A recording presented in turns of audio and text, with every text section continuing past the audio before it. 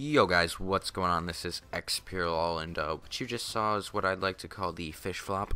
And I may not be the first person to have discovered this, but it's basically just a retarded dolphin dive, where you just jump up in the air as I show you, and while you're in the air, you want to quickly press the sprint button, and just before you hit the ground you want to hold B as if you were doing a sprinting dolphin dive. Now I'm going to show you how to do it in first person and uh, just listen to this background music and enjoy it. It's by Approaching Nirvana, I believe it's called So Close. Let me just check this really quick.